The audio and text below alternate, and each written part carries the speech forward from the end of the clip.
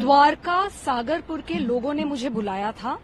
वहाँ पे मैं आज गई और वहाँ के हालात बहुत बुरे हैं। जगह जगह पे सारी की सारी सड़कें टूटी पड़ी हैं, कूड़ा पड़ा है, गंदगी हो रखी है और पानी का तो हाल मत पूछिए।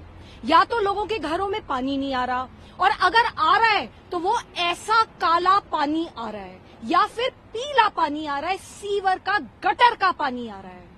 हर साल 2015 के बाद हम बार बार सुनते आए हैं कि बस इस साल पानी की व्यवस्था ठीक हो जाएगी। हर घर से नल से पानी मिलेगा आरओ का पानी मिलेगा। ये है क्या आरओ का पानी? ये काला पानी दिवाली का तोहफा दिल्ली सरकार द्वारा दिया जा रहा है लोगों को। कितनी शर्म की बात है कि जब अपना घर बनाने की बारी आती है, मुख्यमंत्री का आवास बनाने की बारी आती है, सरकारी पैसे से बनाने की बारी आती है तो वाटर सैनिटेशन सप्लाई सिस्टम पंद्रह करोड़ का लगाया जाता है सिर्फ़ एक मुख्यमंत्री के घर में।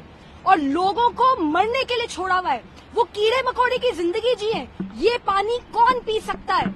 आज मैं मुख्यमंत्री आतिशी मारलेना जी के घर आई हूँ।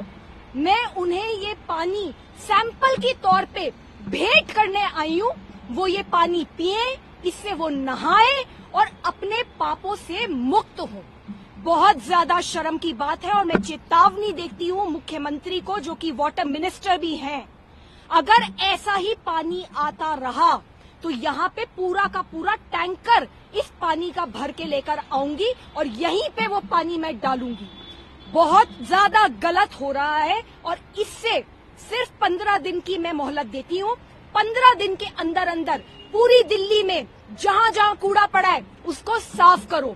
जहाँ जहाँ सड़कें खोदी पड़ी हैं, उनको ठीक करो। और इस तरीके के पानी जो कि पशु भी नहीं पी सकते, इससे दिल्ली को मुक्त करो और पानी साफ़ करो।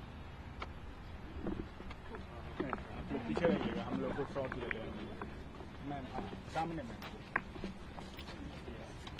Teacher,